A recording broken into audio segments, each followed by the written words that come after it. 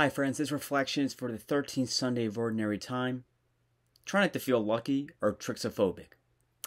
Anyway, so in the in the readings chosen for the 13th Sunday of Ordinary Time, if we have to look at it from a deeper sense, first off, we look at Matthew, we continue from where we left off with the Sermon on the Mount and also where Jesus commissions his apostles.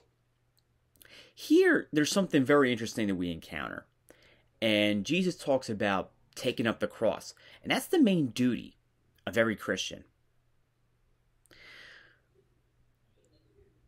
Why? Why do we have to take up this cross like this? Nothing to it, you may say. Well, if everyone wants to understand the true definition of love, you can find it on this. You see, friends, Jesus lays down the work on what love is. You know, you hear, and I'm sure many of us, as, as every year, you have this whole thing called Pride Month, and people seem to dismiss the true meaning of June, which is dedicated to the heart, Sacred Heart of Jesus, in which we place our trust in Him, in Him alone. Not the government, not some made up God, not money, not our president, none of those world leaders. But in reality, Jesus died for us because he is love. Because God is love. Love is not love.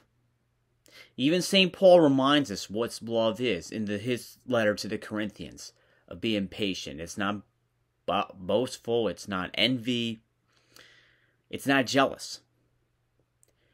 Friends, love requires sacrifice, and sacrifice is shown through love.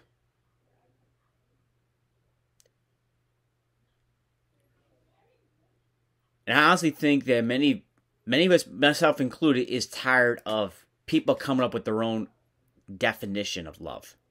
Fulton Sheen reminds us that we must learn to love people and use things, not use people and love things. And I think in our society today, we have abandoned the true definition of love. And it's found on the cross. The cross is a school of love. Even the whole domestic home, the domestic church, where our beginnings are, where our faith is planted, you know, we may go to church every given Sunday, and that's great. We may go to school and learn some things like math, reading, writing, arithmetic, and what have you. But there's one thing that we must never shy away from, and that is the cross. This is the definition of love, friends. And we must love each love one another, even our enemies. It will be hard for sure. But I think what we need to do